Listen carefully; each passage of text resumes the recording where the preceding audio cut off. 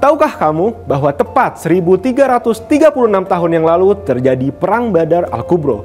Ada hal menarik dari Perang Badar untuk kamu ketahui. Penasaran kan? Bersama Mirdas, mari kita bahas. Perang Badar adalah sebuah peperangan yang pertama kali dalam sejarah peradaban umat Islam. Penyebab terjadinya perang ini dikarenakan kaum muslimin ingin menghadang kafilah kufar Quraisy yang dipimpin oleh Abu Sufyan bin Harb.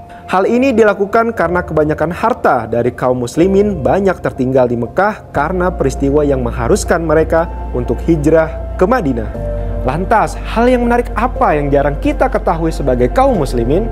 Perlu diketahui bahwa sebelum terjadinya perang Badar, Rasulullah Shallallahu alaihi wasallam mengumpulkan para sahabatnya untuk berdiskusi mengenai rencana perhadangan kafilah kufar Quraisy. Akan tetapi, Rasulullah Shallallahu Alaihi Wasallam tidak serta merta memutuskan secara otoriter untuk menghadang kafilah dagang kufar Quraisy. Sebagian besar sahabat dari kaum muhajirin mengutarakan semangat mereka. Akan tetapi, Rasulullah Shallallahu Alaihi Wasallam tidak begitu puas dengan pernyataan kaum muhajirin. Seakan Rasulullah menunggu seorang untuk mengutarakan pandangannya. Hingga berdiri seorang pemuda pemimpin kaum Ansor, yaitu Sayyidina Sa'ad bin Mu'az.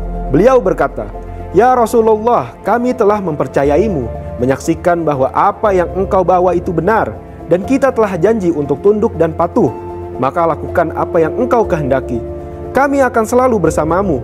Demi Allah, seandainya engkau memperlihatkan lautan ini kepada kami, lalu engkau memasukinya, maka kami akan masuk bersamamu. Kalimat Sayyidina Sa'ad bin Mu'az membuat senang baginda Nabi Shallallahu Alaihi Wasallam. Mengapa jawaban kaum muhajirin tidak menenangkan hati baginda? Akan tetapi jawaban kaum Ansorlah yang seolah-olah baginda tunggu. Pada saat Bayatul Aqobah bahwa kaum Ansor dan baginda Nabi telah melakukan perjanjian di mana kaum Ansor siap sedia membela Nabi Shallallahu Alaihi Wasallam ketika Nabi berada di Madinah. Maka Nabi tidak mau memaksa mereka untuk berperang di luar kota Madinah. Dan jawaban Sayyidina Sa'ad bin Mu'az menunjukkan bahwa sahabat Ansor telah kuat imannya dan siap sedia melindungi Nabi Shallallahu Alaihi Wasallam baik di Madinah ataupun di luar kota Madinah.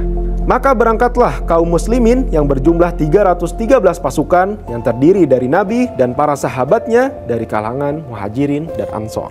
Masih ada yang ingin kamu ketahui? Komen di bawah dan jika merasa video ini bermanfaat, yuk di share videonya. Sekali lagi ya,